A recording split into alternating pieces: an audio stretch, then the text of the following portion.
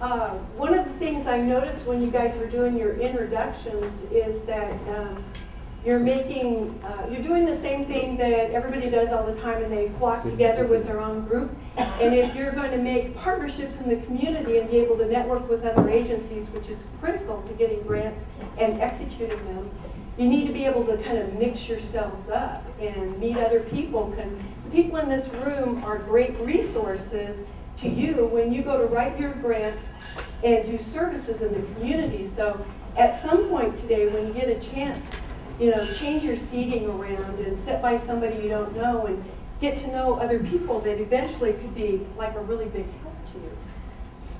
Um, you ready? Yes. How many people in here are full-time grant writers at your job? One.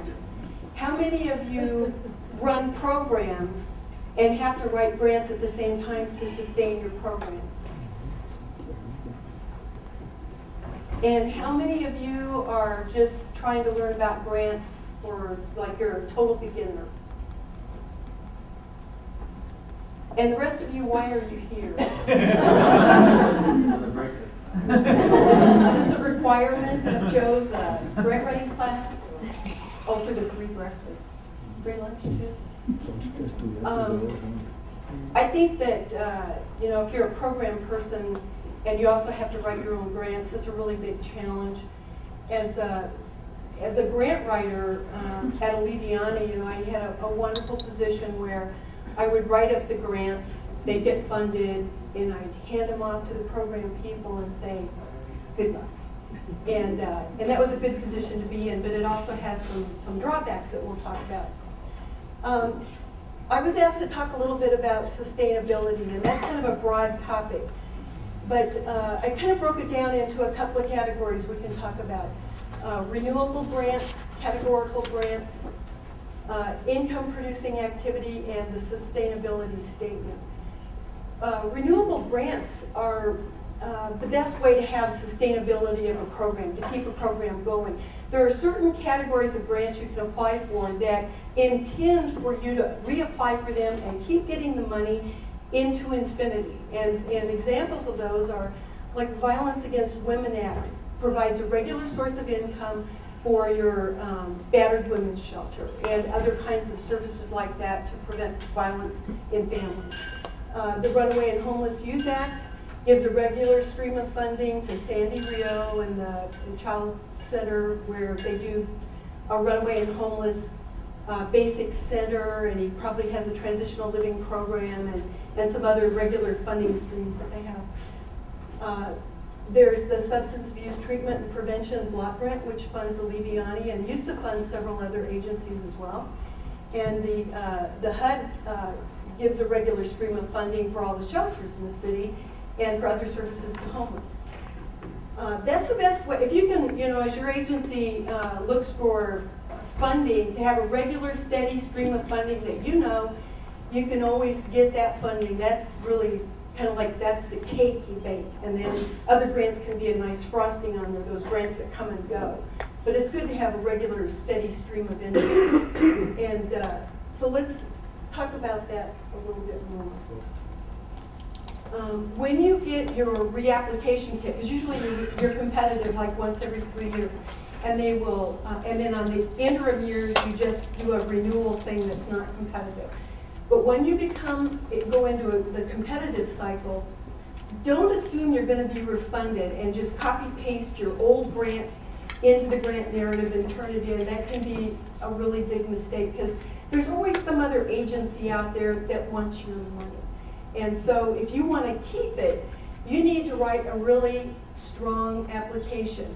Uh, the first thing I usually do is I go through the whole application kit and I look for differences between last time I applied for this and this time. And I uh, carefully note all the differences because that'll be telling me what what's new in the grant and what are they looking for that's different. And then when you go in and uh, and write your grant, you want to be, you know, things have changed in the last three years. Did you implement any new uh, uh, research-based practices? which is a real um, important thing these days. Everything's got to be research-based, and it, your research-based practice needs to be, um, match up with the actual clients that you're serving. I had this, um, I read a grant where the, um, they put in a research-based practice that was a prevention program, HIV prevention for African-American women. And it was research-based, had been proven effective, but they put the grant in for a Hispanic population with no explanation as to why they thought that would be appropriate. Things like that can look really out of place. So make sure when you put in your, uh, your agents, when you're putting in research-based uh, practices to put in your grant, make sure they fit your population. They fit the age, the ethnicity, uh, the type of problem they have, and all the other all the other little factors in that research that said this is what works and for who it works.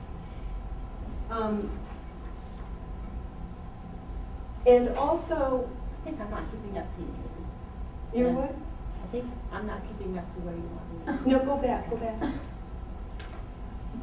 Um, the database is real important. This is, this is one of the things that is going to be really hard for you if you're not the program person. If you're the grant writer, uh, but you're not running the program, how do you collect data on services that your agency does? Uh, you don't. You've got to work with the program staff and convince them to collect data. Now these days, with computers and technology and databases and all the different things we have that make it easier to collect data in an agency, it's, it's not as bad as it used to be. But when I sit down to write a grant for someone, which that's what my business is now. I write grants. I have clients uh, all across the country and offshore as well in Guam and the Virgin Islands. When I go uh, work with that agency and I ask them, they, you know, okay, we're going to write this grant and it's for your domestic violence shelter. How many clients did you serve last year? I don't know, maybe 300. What do you mean you don't know? They don't collect data on their clients and they can't tell you the race or ethnicity of their clients, their ages, what kind of problems did they have.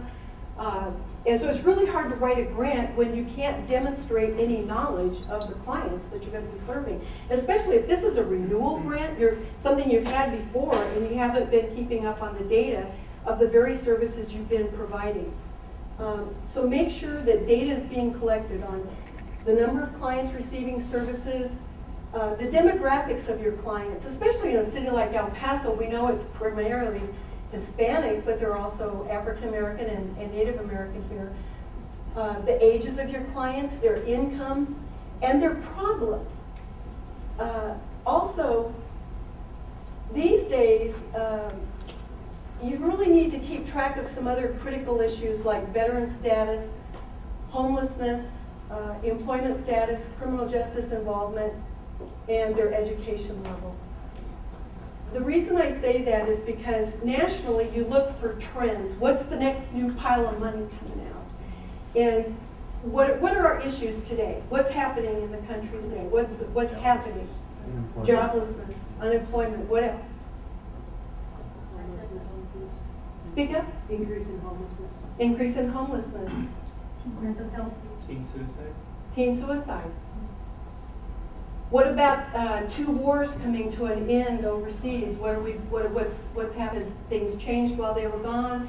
And also when you have PTS, so you can often find uh, a new grant that's somewhat like or has some of those services in it, and then you can just sort of write a new grant, and it's unlikely you're going to get everything you had before, but you can maybe get parts. I, am working on a grant right now uh, that's uh, veteran support. It's support services for veteran families. And it's kind of wide open, but it's uh, sort of like to prevent homelessness. But what, there are a lot of things that uh, cause homelessness among veterans. It's not just losing a job, but it's that PTSD, the relationship problems that end in divorce, and, and it's also um, employment and all kinds of issues. Well, the, this agency I'm writing it for is they're about to lose their employment grant for veterans, and they're about to lose a a grant for uh, doing specialized counseling with veteran couples to uh, reduce the problems of PTSD. So those grants are gonna fold up right around the time this other one will come into existence. And so what we're gonna do is try to fold those services in with all the rapid rehousing and other services of the larger grant, the new larger grant. And so, you know, just kind of got to shop around. And again, if you've kept good data and you know what your clients' problems are, and you know that, oh, say you're a, a health department, but if you've kept good client data, you also know that 40% of your clients are veterans. Veterans are a real large population. So, you know, you, you, the more you know about your clients and all their issues, uh, the broader range of grants you can apply for. Okay. Um, income producing activity. I don't really know a lot about this. I'd like to know more about it, but I've seen others do this, and I think they're really smart. Because if your agency is totally funded by grants and you don't have any kind of side income, you're kind of living on the edge there, you know? So I know uh, that the Child Crisis Center has a thrift shop, and uh, talking to their director, he told me that that pulls in about 200000 a year. People just donate, donate stuff, and they turn around and sell it. I mean, that's great, you know? And then that money is unrestricted, so if you do a grant, you can only do the grant services with that grant money. You can't spend it on other stuff, but if you have income, then you can spend it any way you want. You can shore up your other programs, you can start whole new programs, uh, you can do all kinds of things. Hire another grant writer. Hire a grant writer, good idea, or contract with one. Um, uh, the El Paso Diabetes Association has really elaborate fundraisers. Uh, I'll- get their, their emails um, all the time where they're telling me the next big fundraiser coming out. And I, I know they do a lot of that. I think fundraising in general is labor intensive and you maybe don't get as much money as you want, you know, but it's at least it's some other income. You can also charge fees for services. They're, they're maybe on a sliding scale or something, but a lot of times a grant lets you do free services. Well, maybe you can charge a little money and still keep doing them. Uh, one of the programs I'm working with now is they have a lot of clients that need childcare and they use the grants to pay the childcare, but now we're looking at starting their own child care center so the grant money can be used to pay, cover, you know, through a voucher system, pay the child care for their clients. So the grant is paying for it into a child care center. And once it does that, that money coming out the other end is unrestricted, you know, it can be used any way you want. And also income property. Uh, I, I, I know a company that set up its own separate foundation for property. The foundation they set up buys properties, and then the company, uh, when they get a grant, they need rent for office space or program space. They take a space in that property that their other foundation, that's only for them, bought, and they the grant money pays rent. The rent goes into the other foundation. It's real money laundering, is what it sounds like. And then, but then that money's available to be used for uh, unrestricted uh, costs. You know, so you just got to be creative and, and uh, think of other ways to uh, bring money into your program. Okay. Um, let's see, the sustainability statement. Ah, every grant, almost every grant, has got this little place in there where they say, tell us how you're going to sustain this grant when the funding lines up. And it's like, duh, you know, I, I'm not going to be able to, you know, that you're the only one, it's a categorical grant, you're not going to let me have the money again. And it's like an exercise in futility is what it feels like, that you still have to respond to it. And uh, describe your previous success in obtaining alternative funding for a project. Uh, that really works. Uh, and my, my example is that Women's and Children's Program, because we, we got a federal grant and, uh, and we did the Women's and Children's Program, and then the state picked up the funding. and it, it created a steady funding stream. So that does happen, and I was, am always using that as an example there. Um, you can list other possible funding sources, like, well, you know, we're, we got this SAMHSA HIV outreach and testing uh, program, but when that money's gone, maybe we can get the CDC to pick it up or maybe we can get the state health department, or or the local city, county health department, ha-ha. And, uh, so, but you know, you give this list, you know, because it may be, you never know. Um, You might say that you're gonna charge some fees for the services. You could say you're gonna do fundraising, you know, like, uh, I don't know, uh, I don't know how much money you're gonna raise with that car wash activity, but on a federal grant that's usually around three hundred thousand, you're gonna do a lot of car washes.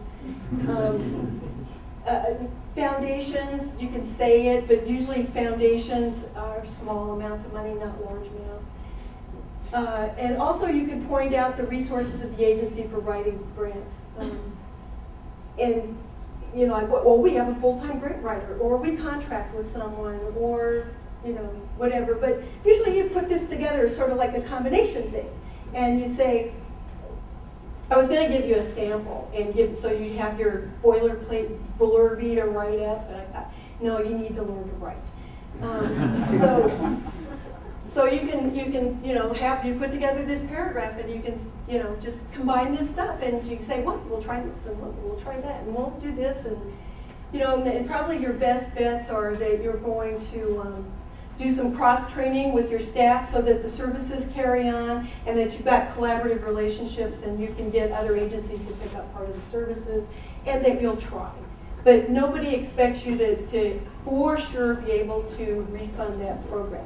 But you still gotta, you don't wanna get points deducted for not addressing it, so you have to address it. And, uh, next. This is a, a a sustain, a sustainability plan that, uh, my friend Henry Brutus at EPDA sent me in an email. And I thought, well, maybe it'd be interesting to you, so I threw it in there. And, and it's got some ideas in it to help you with that. But it's, the sustainability statement in the grant is never an easy thing because uh, it's, it's just throwing darts, you know. Uh, And I've, I've written a nice one for each of my clients, you know, and I use the same one in your grant. And if you, when we ask people what topics they particularly want to hear about today, sustainability is one of the big ones. And I, I know the very few grants that I've written, none of which have been funded, but I've got dinged on sustainability by all of them. And I've heard that from quite a few of the people at various levels that we ask, and then they always say, oh, I struggle with that one. So thanks for taking the time to address it, because I think it's a big issue for everybody.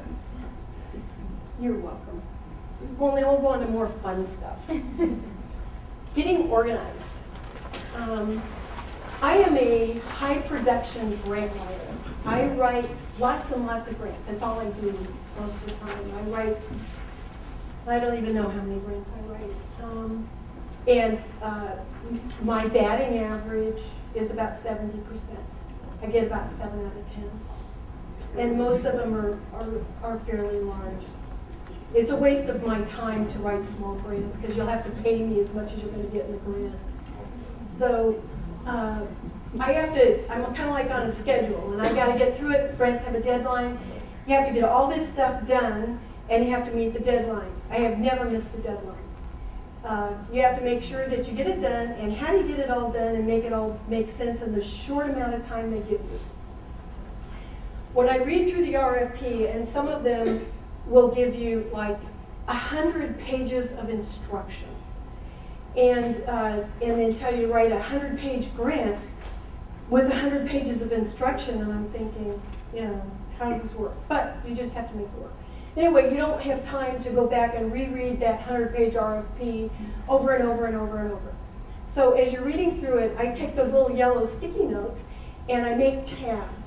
And I write on each page as I'm reading, whatever's on that page that's important that I know I'm gonna need to go back to. I make a little sticky and I tab them running down the side. So I've got, every page has got, you know, maybe five or six little stickies coming out, but it tells me what's on that page so that I can really quickly and easily go back to it. Um, I use highlighter for important information. You don't want to turn the whole page yellow because then you lose the purpose of it.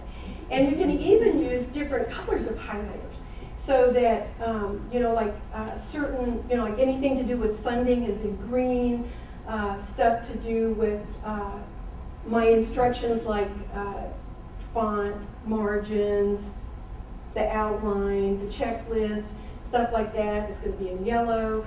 And then uh, stuff for the evaluators in blue and You get, so you can, I can go through and color code it, so I can go to stuff really fast and not have to reread. And, uh, and then you're going to allocate the number of pages you're gonna write for each section, and, and you also need to allocate the time you're gonna need to write each section. And I made a little chart for you. So, when you look at the, through a typical grant, it's got usually like, uh, these four sections, a needs assessment, an approach section, organizational capability or management plan, something like that, and an evaluation. And it'll assign us, uh, so many points to it. I made, I did this to equal hundred, um, so that it all works out real easy on your percent, so I didn't have to bring a calculator. But, uh, if that needs assessment is twenty points out of hundred, it's twenty percent, so you see your percents. Then, if it's a twenty-page grant, twenty percent of the twenty pages is four pages. I can't tell you how many times I start to write a twenty-page grant, I'm in the needs section, I'm all excited, I'm having fun, and all of a sudden, my needs section is ten pages. Well, that's not gonna work, and I've spent a whole lot of time writing stuff that I'm gonna have to delete. So you wanna try to have targets for how many pages you're gonna assign to each section. Uh, So you take those, if the points it's worth, you should have an equivalent number of pages for the points that section is worth. And uh, so then you kind of, and you make, and you do this, is you make your little chart and you write it in there so you know and don't forget. And then you, you've got two, say you've got 14 days to get that thing done. Well, 20% of my time on those four pages for that needs assessment, it's, you just break it down the same way. 20% of the 14 days is three days on the needs, seven on the approach, three to the organizational capability, and one on the evaluation. Unless you're been smart and you get Dr. Tawanka to write your evaluation. That gives you a date or something else. And, and don't forget, that's just for the writing, but in addition to the writing, you have to do a lot of other background information, like getting those letters, filling out forms, getting your signatures. So it's not just the grant writing. Okay, grant writing is a team sport. And there's some stuff I'm gonna tell you today that you've already heard today, that has been brought up by Joe, and it's, and it's, um, brought up by Eileen also, I got here kind of late. Um, if you hear it again, that means it's either especially true or especially important. Grant writing is a team sport. I write lots and lots of grants on all kinds of topics. I'm not an expert on a lot of topics. I'm a good writer, but I have been able to branch out and write lots of grants on lots of, on, I mean, I have written grants for, um, like, I worked at Aliviane for ten years, so I know substance abuse and mental health, uh, homeless issues and all kinds of issues, up one side and down the other. I also worked for a real estate agency and a, and a rancher in New Mexico, and I wrote grants on uh, recovery of endangered species and uh, environmental education for school kids and all kinds of things I had no clue what I was talking about. Um, but you can do this. Uh, educate yourself. Um, and work with the staff that's going to be doing that program. In your agency, there are people that are going to have to do these services. They know things. They have expertise. This is their, their program, their area. So go in and, and you take your little grant and make a little outline of what the, what the uh, goals and objectives of the grant are, how much money it is, uh, what the services are that they're looking for. Make a little outline, bring them together, you have a little brainstorming session, and, uh, and go over it with them and talk to them. And part of why that's so important, um, when you write a grant, the funding agency wants to get the most bang for their buck. They want you to do a lot of stuff. They don't want to give you a half a million dollars to just do a little bit. They want a lot. But you also don't want to overcommit and promise so much stuff that it can't be done, and then you look like a failure. Who knows best how much stuff can be done? The staff that's going to have to do the work. So meet with them in advance, go over the grant, get their ideas. And the other reason this is so important is they can give you lots of insight to the clients you're going to be doing services you don't, you're not the expert, you don't know, or unless you're the program person and the grant writer. But if you're just writing, uh, you need to have inside knowledge of the target population and what their problems are. And what kind of services are gonna work for them. I, uh, back to that HIV grant outreach and testing, I, uh, actually went out with the outreach workers to educate myself about the problems of drug addicts who shoot up drugs and put themselves at risk for HIV. I didn't have that kind of knowledge. I went to parochial school, there are a lot of things I don't know. Uh, So I went with them on an outreach trip. We went to some seedy hotel uh, that was populated by um, transvestite prostitutes who were shooting up heroin. And, and it was, uh, I made my own little surveys so I could ask them questions and, uh, and filled out a survey for each one I talked to. But it was an experience uh, talking to men dressed as women with curlers in their hair. And uh, they were shooting up heroin in front of me, and their eyes kind of rolling back in their head, and blood dripping, and it was all kind of horrifying. But it really gave me the inside picture of what I was talking about. Because otherwise, you're going to write a sterile grant, you know. But if you want to write something that where the reviewer can really connect with what you're talking about, get out there, uh, see what's happening, talk to the staff, let them help you learn and get that kind of inside knowledge that'll bring your grant to life. Um, and let them help you develop it and tell you what kind of services are possible and what's not going to work.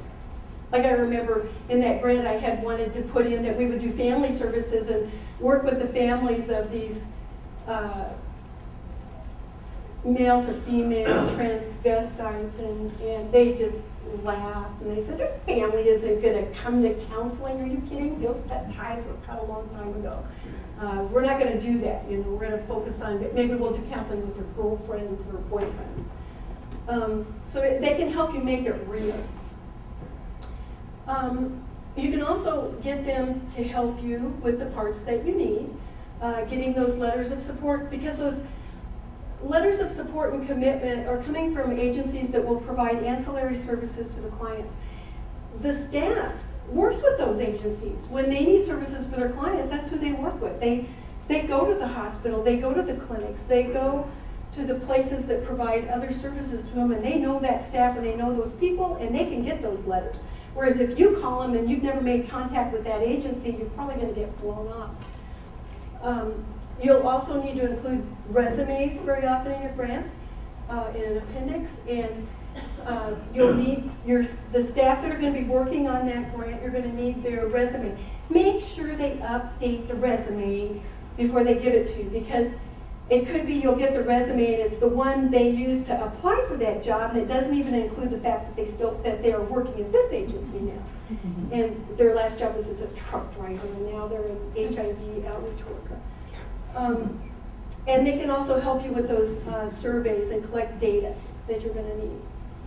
And then you can get someone to help you review the finished application. The review is at several stages. Some will help you with, you know, grammar and spelling. These days, you don't really need that much help with that because your word processing program will do that for you. But they can help you make sure it makes sense and that it reads well and that it's smooth. And get someone also that's uh, has that kind of, that expertise. Uh, A lot of times line staff doesn't have the, uh, the education and the research behind what you're doing. So get someone that's kind of up in your agency that's more professional staff to look at it also. I had a, I had a quick question for you. When you brainstorm and you determine with staff that you might only meet maybe eighty percent of what the grant requires, and you said you might fall short of some of those things because you don't want to overcommit, is it wise to say that in the grant? We might not, we, we can commit to this, but we can't commit to this, or do you want to? You say you're only, like if the grant says you will do it, and they give you five things, but you can only do four? Yes, Well, the grant, um, usually they say, like, here are the objectives of the grant, and they will tell you if all of these are required.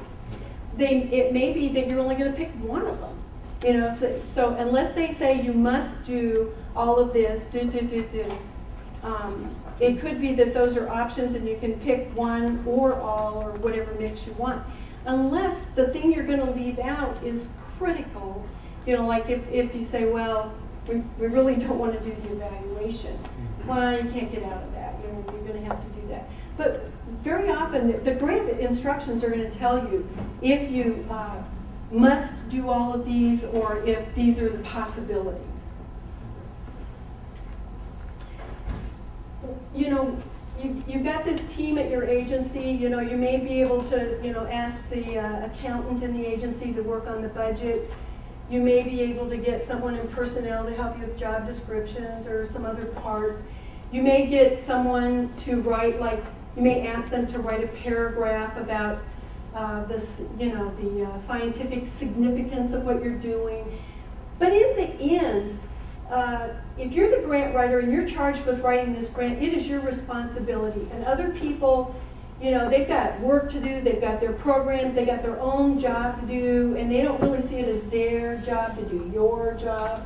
And so this is your job. You're responsible for getting it all done. And if they don't have the time to do, they may say, yeah, I will, but you give them a little deadline, and if they don't have it done, do it yourself, and then take it and show it to them and ask them if that'll work, or if they have any amendments to it.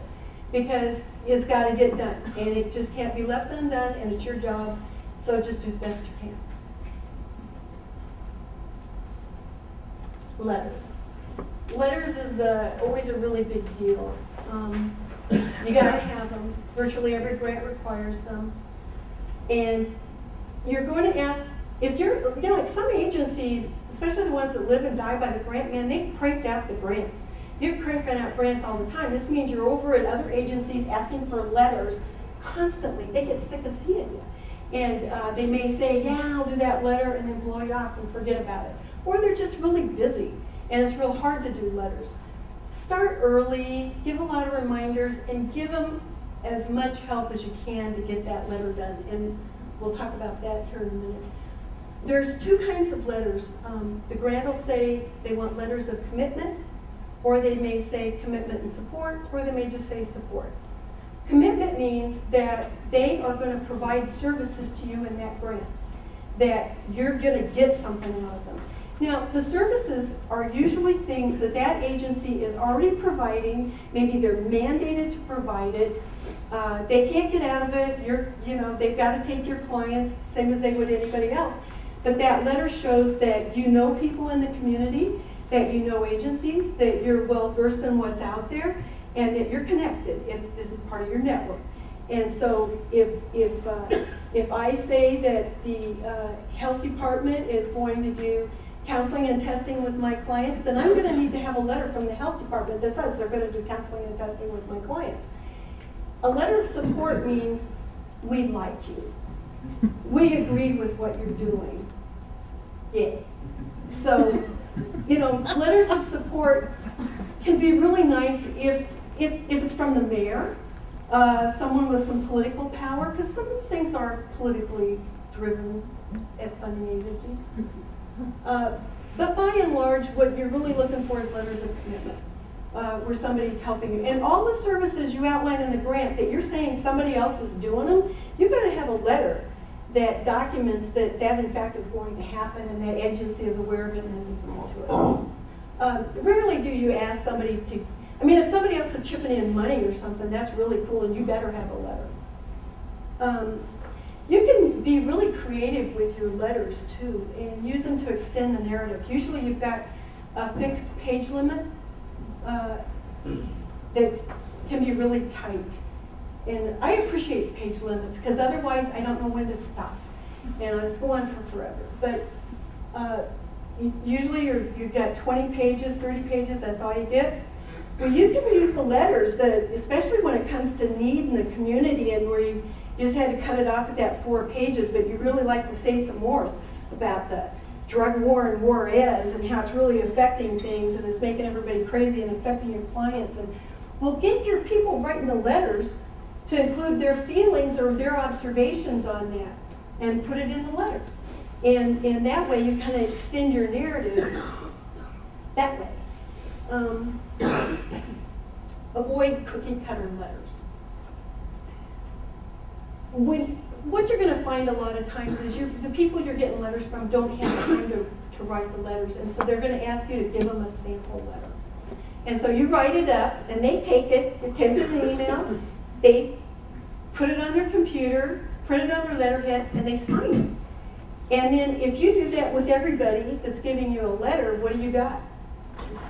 They all look the same. And I've seen them where even, they all say they're gonna be doing the same service. That doesn't even work, you know? Um, So sometimes you have to individually write the whole letter for the other agency. Change them up, make them different. Don't get, don't write exactly the same letter and then change the word, you know, HIV testing to training and conferences, you know, just, you're gonna have to, you're gonna have to probably write those letters for them, and that's just kind of what it comes down to. Um, What I like to see in a letter is uh, a little short summary of that agency's services, because the, the reviewer most likely doesn't know that agency. So they've got to understand, well, what, who are they, what do they do? So a little summary of what they do. We're the El Paso Health Department, you know, we handle all the infectious disease prevention and protect the health of the community. And then you want them to say what the services are they're gonna contribute to the, pro- we're gonna do the, the uh, testing and uh, CD4 counts for uh, people with HIV, and, and then also get them to include their contact information. If you have any further questions, here's my phone number. That individualizes the letter, uh, and, and helps with that. Um, But you're, you're probably, good. I also, one of the things you can do is write a cover letter and then the sample letter. In your cover letter, you can put what that, what you're trying to do with the grant, because you're gonna have to tell them, they're gonna, well, what are you trying to do? What's your grant about, you know? We can give them a cover page that says, these are the goals and objectives of the grant, this is what we're trying to do. And, uh, this is my deadline, and I have to have your letter by, and give them a cutoff point, and give them your fax number, and then call them, remind them. And it's okay to put a fax letter in your grant, you don't have to have the original in your grant, fax is fine. Um, So, wait, go back to that, um, second. Yeah, the start early part. Call and nag. The, uh, you're gonna have to nag to get the letters, it's just the way it is. It's not just you, Joe. It's- Don't take it, I have fixed it. Uh, Organization tips. As Joe said, you know, they're, they're gonna give you the, the, the order, the sequence of things uh, that they wanna see in that grant. They're giving you basically your headings, the sections you're, you're required to submit. And they'll also give you a, a, uh, a lot of other stuff there.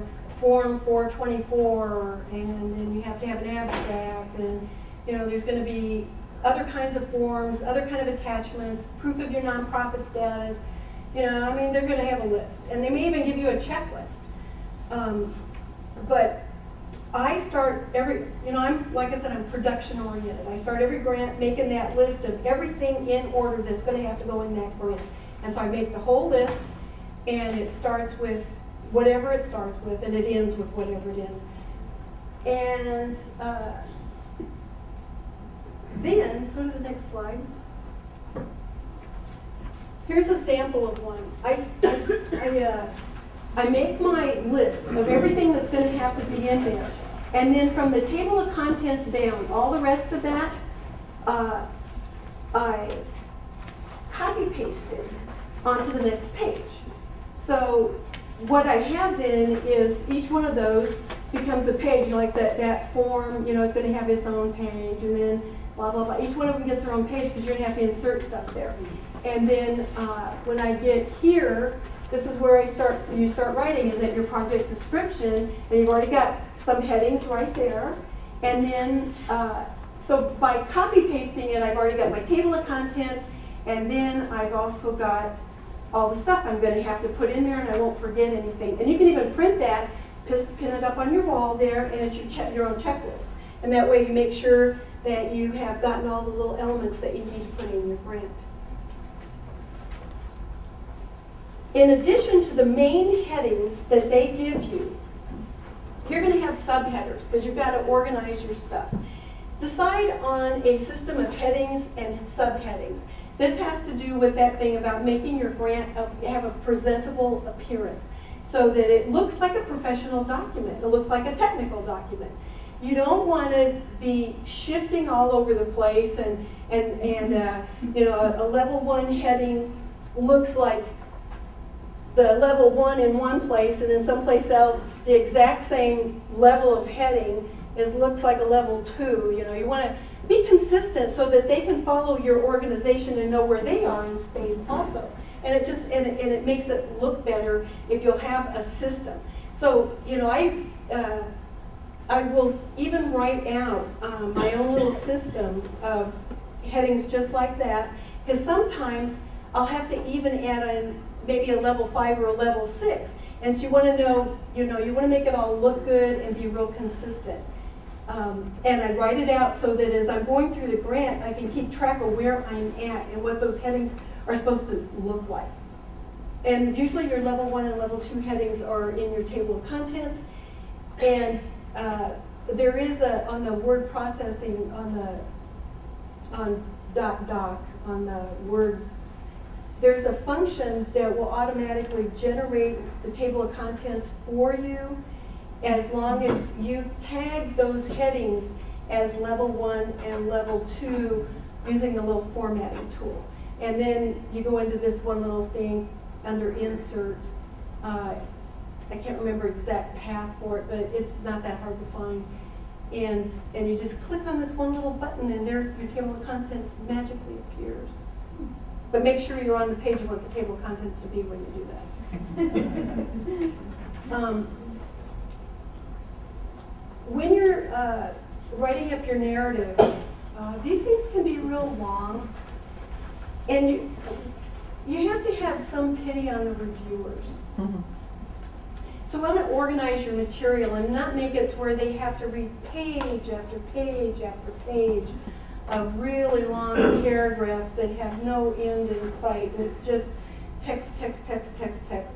If something can be logically you put into like a little a little list, a little list one, two, three, four, five, or bullet points, or um, you know something to break it up and make it easy for them too.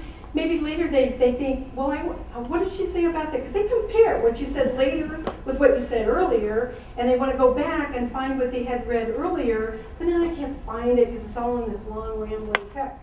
But if you put things in bullet points, it gives them a reference place to go back to and find things or uh, remember, oh, it was just before that list of bullets or it was just after. So it helps the reader to digest all this stuff. And have a system of bullets, just like you had a system of heads. Uh, you know, don't like this time I'm going to use little flower bullets, and the next time I'm going to do little arrows, and this time I'm going to indent them all, and now they're going to be flush left. You know, get a system going so it all is clean and neat and tidy.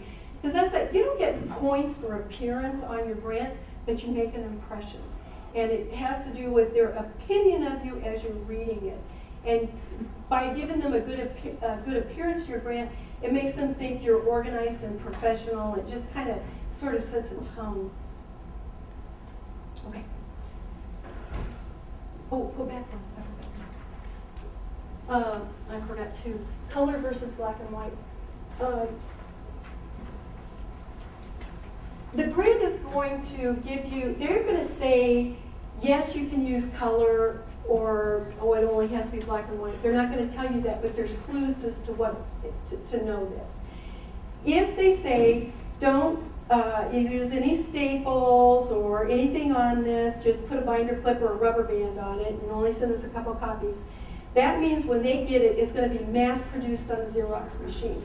And if you have used color in that grant, just imagine a Xerox machine that's running millions of copies a day and running out of toner constantly, and you get those really ugly Xerox copies that you can only read part of it, or it's faded, and pages are wrinkled, and because they, you know, mass mass copy these things, and if you put color in there, and then they turn it into a not very good black and white copy, a lot of times it looks like crap.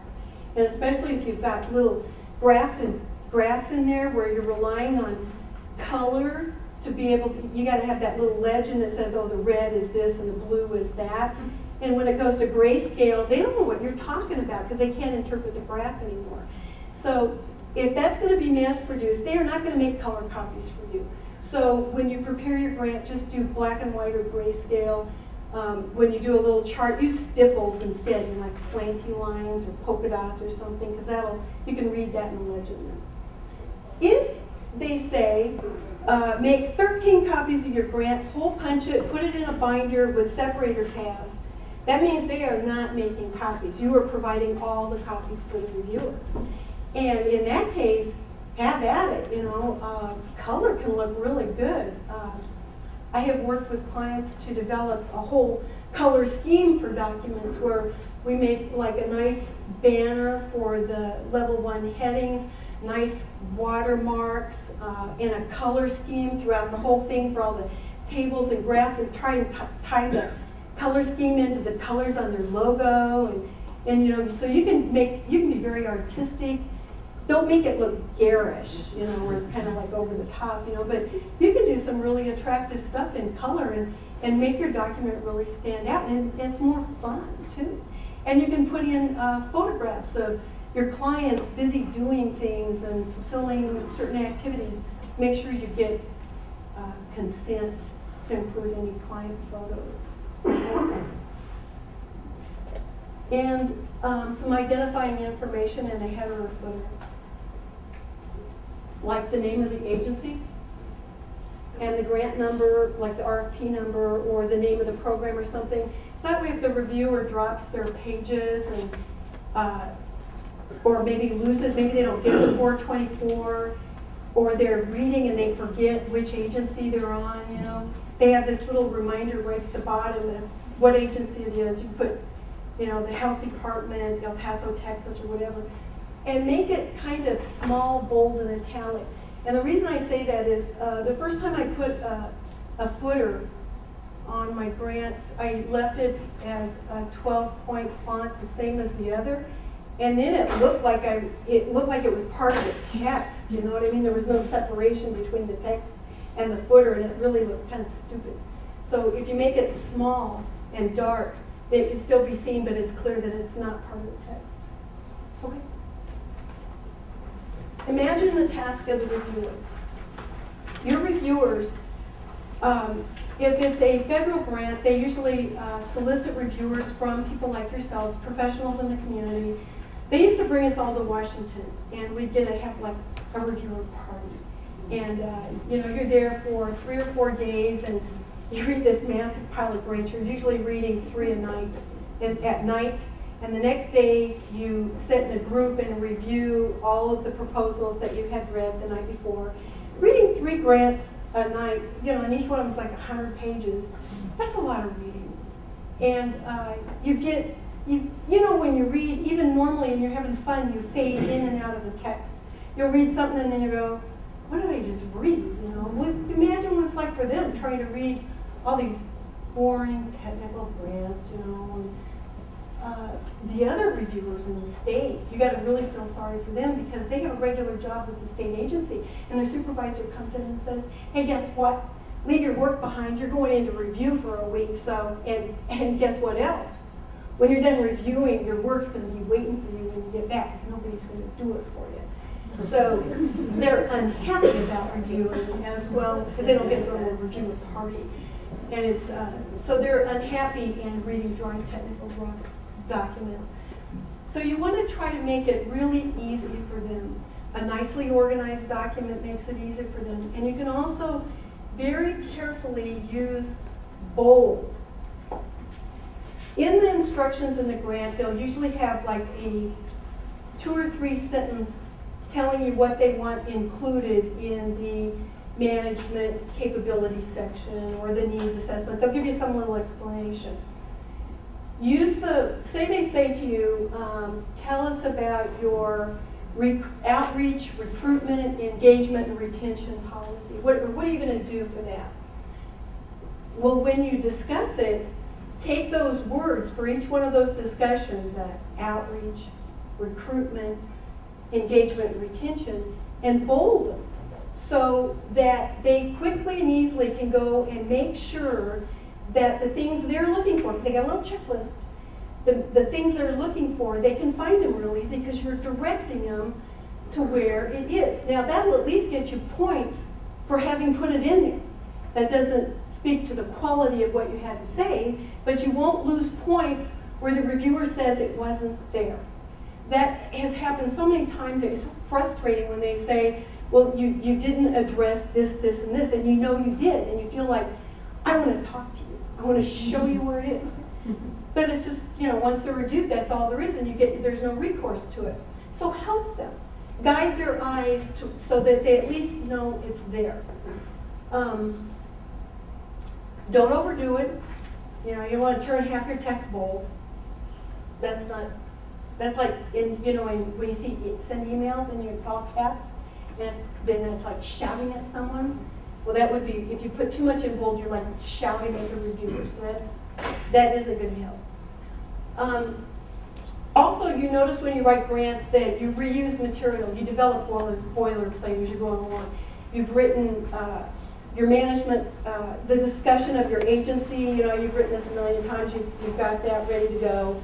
And you've bolded certain things to reflect back to what the questions were being asked. Well, then you go on to the next grant, you plop it in there. Take the last bold out because you're going to be bolding, they're going to be looking for something different. So you have to make sure that it matches what the new grant is. Sometimes uh, I forget to do that, and that's when you end up with too much bold because it's got the bold from the last grant, this one, and God knows how many past friends. Um, okay, so let's go. Um, when you're uh, making that decision about the services you're going to provide in the grant, you know, like you had brought up, you, you know, what if you're only going to do four things out of five?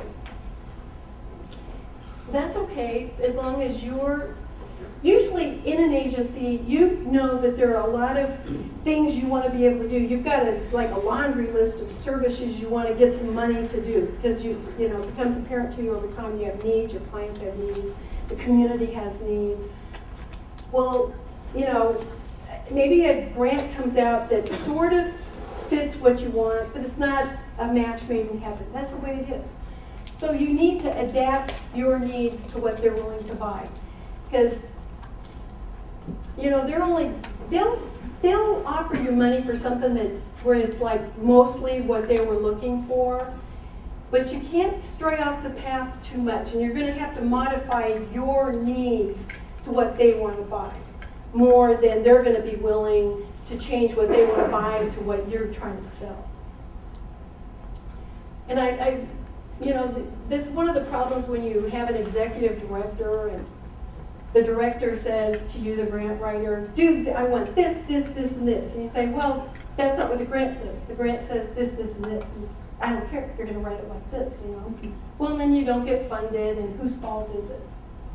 We all have our pet peeves, you know? Um, Follow directions. You can't emphasize that enough. Grant, grant writing is an exercise in follow that all. Uh, and and uh, it could, it's a, something as simple as not getting a form signed. Uh, it could be um, if they said you will do these five things, but you only do four. If they say you must, then you must. But there are, if they say you're limited to 20 pages and you give them 21 pages, they could throw it in the trash and not even review it. Some of them are nice and say, we just want to review any extra pages. Arial font, use 11 point Arial font. Don't give them a 12 point Roman numeral. Double space versus single space, simple little things like that uh, can get you eliminated from, and you won't even get out the gate. Once you've answered the question, you've written your response for a section, reread the question. And, and I even, when I'm, right as I'm writing it, I reread the question. I probably reread the question 20 or 30 times to make sure I did not get off track. Because it is really easy to just you know, you get your own things going, what you're excited about or what you want to say, and sometimes you go off this way, but the question really wanted you to go this way. And uh, this becomes really clear to you also as you get to a later section in the grant that asks you for the information that you put in an earlier one. Then you got to go back to that one and say, well, you know, I wrote all this stuff for this question, but it really goes over here. So what did they want here? If it wasn't this, it's got to be something else. So make sure you answer the question that's being asked. Uh, and it's, I can't, I've been a reviewer a number of times, and I, it just amazes me at how people don't answer the question. It's uh, a mystery. Okay. Then you'll get grants where they give you uh, the front matter introduction to the grant, and then they give you your uh, instructions. That's where it's like, okay, tell us your needs assessment, what we want here. And they may even have later sections that are review criteria. And they'll list a bunch of stuff under, and it may not even match up exactly with the, the instructions for writing the grant. They're off on their own thing. Uh, and there, there's, so, and you'll see differences. There, and so, you know, which instructions do I follow? Which instructions do you follow? Joseph's review criteria. Both. You follow all the instructions. Even if it ends up where you can't follow, I mean, they may give you something that says follow, follow, here's how, the order we want you to put things, address these like this, and then the review criteria will throw extra sections at you that don't even fit the outline that they gave you. This stuff happens. You're just gonna have to make some new sections and stick them in there. You can't leave anything out. If it got given to you as an instruction in a later section, shoehorn it in there somewhere. Gotta address it all. You can't ignore anything. Because you can't afford to lose points these days. You, you just can't.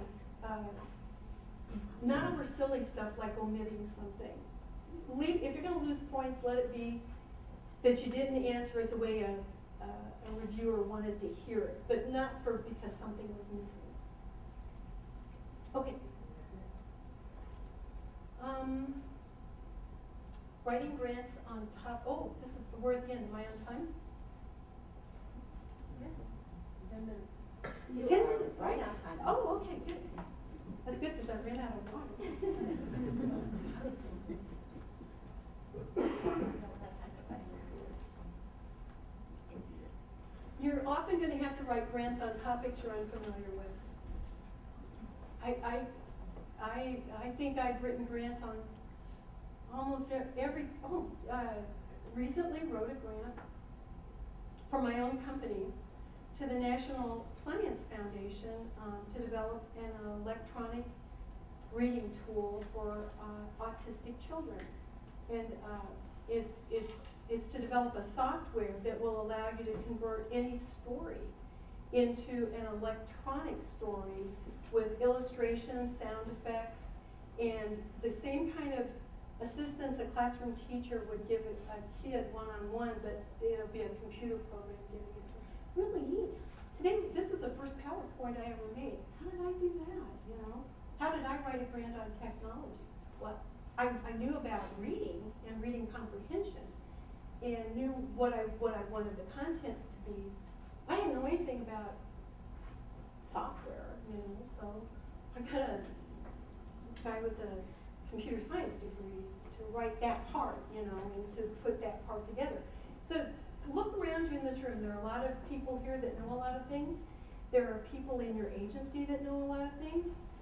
You can consult with an expert that knows something and, and uh, figure out the stuff you don't know. I'm a good writer and I'm open to learning and, so, and I love to learn. So you can learn too. And so don't be afraid. Don't be intimidated. Talk to people. Google it. The internet is amazing, you know. And if you put in a Google search and you don't get exactly what you're looking for, rephrase it. Mix the words around. Add a few words in, take a few words out. Keep keep trying a different search until you will hit bingo. You'll come up with the stuff you're looking for. Don't be afraid to buy a book. You know, if you're reading this, uh, your grant instructions and they're citing literature that is the research behind the grant application, try to get a copy of that book. Uh, and you don't always have to buy new books. There are used bookstores too. You can, you can uh, get a used copy for just a couple of bucks and build your library. But if you've got the, uh, a book that's the research behind the grant that came out with the money, then you're way ahead of everybody else, you know, because you can use the material out of that to develop your response. And, uh, and I, I, and especially if it's something that you know is gonna be an issue for a long time to come, like right now, I see veteran services as being something that's going to be a big deal for the next two or three years, till we get all our soldiers back home and they get all resettled in. Um, so I bought some books on veteran services because I'm being asked to write a lot of those grants now. Uh, I have bought, uh, books on, um, environmental concerns and whatever it is I'm working on, you know. You can educate yourself and, and get, and get the resources you need. Okay? Good. Thank you. And we have plenty of time for questions, so don't stop. And I have water. Uh, Just basic questions. When there is a page limit, I mean, since we know sometimes it's even different teams of reviewers reviewing different sections, is it okay to put in a different colored piece of paper in between the sections to separate them? So that it's easy to be able to maneuver through your document? Your grant instructions are gonna tell you, you're talking about when you submit it. Uh, your grant instructions are gonna tell you, if they say twenty pages only, and, uh, don't use any, uh, staples or anything to bind it, that means they're mass producing at their end, and they don't want anything else, so. And then the other question is, when they give you a page limit, usually you know if the SF four twenty-four or cover page is included or not in that page limit, but sometimes you don't. And I tend to really want and need to err on the side of still being able to have a cover page instead of one four two four, but In general, the, the, the page limit applies to the narrative. And if there, if it's anything different, they have to tell you that. Okay.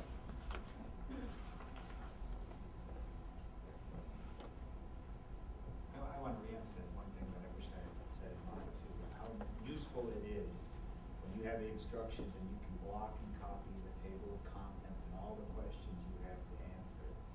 And put that in your document and kind of start off as, this is, these are all the sections I need to fill in. I think that strategy is, really sets out your task before it comes to not, not miss anything. That's all. You can, you can delete those paragraphs that tell you what you're supposed to answer later. They're right there, right in your face, so when you're reviewing it and checking your own work against what it's supposed to be, even cutting and pasting the review criteria in the appropriate sections is a real, real aid in in doing this task, and making sure you're not, like you said, going off track. And also when, you- you know, when we were talking about, um, you can farm out different parts to write, if you've got a grant that has an evaluation section in it, and it has a good chunk of change for paying an evaluator to do the evaluation, have Dr. Tamaka or another evaluator that you know and respect write the evaluation. They'll write it for free as long as you give them the evaluation to do, and they get, they'll make their money later. Evaluations are really hard to write. Be really Any other questions? Can you give us uh, some techniques that you think are very effective for editing, uh, particularly self-editing? Stay away from your grant for a day or two before you go back and read it for editing. Um, if you've just read it all the way through and then you try to read it all the way through again, you assume you know what you're looking at. And you kind of skip through it because, oh, I already read that, I already read that. So if you stay away from it a little bit and then pick it up again, it's more fresh, then mistakes or inconsistencies will pop out at you better. I, I have one other, students ask that a lot, and I, I work with students in student writing, learning to kind of review your own work from a third-person perspective is really difficult, to to be that objective person. And What you said is exactly right. The other thing I tell them to do is read it out loud, like it was a speech. Because if you're, if you're reading the prose out loud and you're stammering, and it's, it's difficult, it's not written well. If you can read it like a speech, it's usually in better, better shape. But again, even then, you, you start filling in the blanks yourself, you know, like is maybe missing, but you read it like it's there, little things like that. Those are, those are my missing words.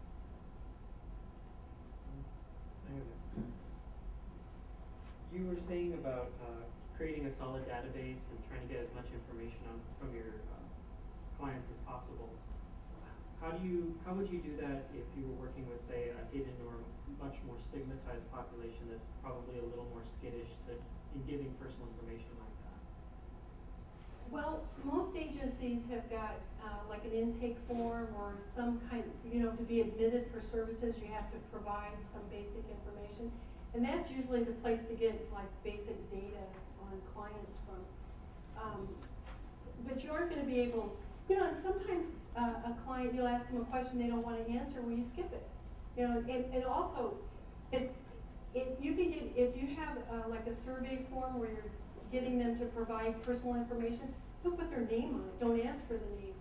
Uh, I was writing a, a grant for Aliviane on, uh, abused, uh, abused children that had witnessed or experienced violence. And these were the children of women who were in the treatment program. And we wanted to get an idea of, uh, how many of these children had been abused, neglected, or, or traumatized. And it's usually parents. You know, it's, it was either gonna be the mother or her boyfriend who inflicted that. So in order to get the women to open up and provide that kind of information about what their child had been through, we gave them a survey with no names. So there was no way for, that any, they, they wouldn't feel stigmatized because their name was, it was gonna be anonymous. So collecting information anonymously will get you more truthful information. And we got some really good data.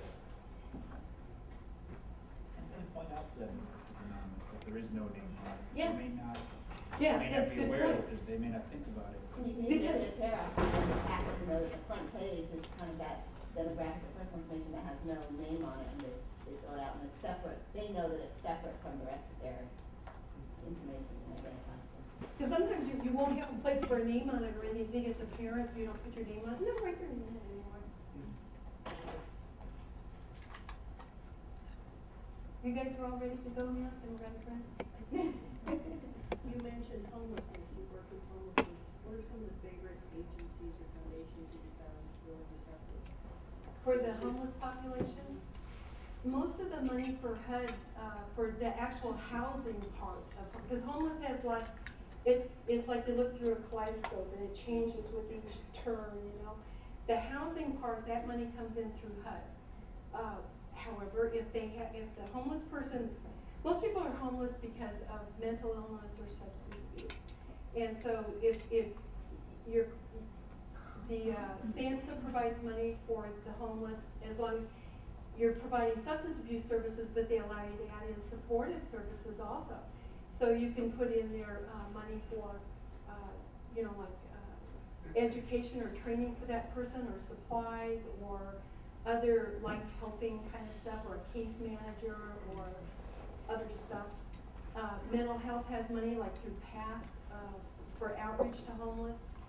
Um, money for mental health services is getting harder and harder to get because there's so much mental health problem, you know, it's kind of overwhelming, and these days they only want to treat it with meds, um, and not providing the counseling, but through, I would say the State Department, that Department of State Health Services would be where you would get some mental health money. And, and then, uh, employment and training services, that would come in through, uh, WIA, uh, Workforce Investment Act money that comes down through the Rio, Rio Grande, what do they call it? Yeah. yeah.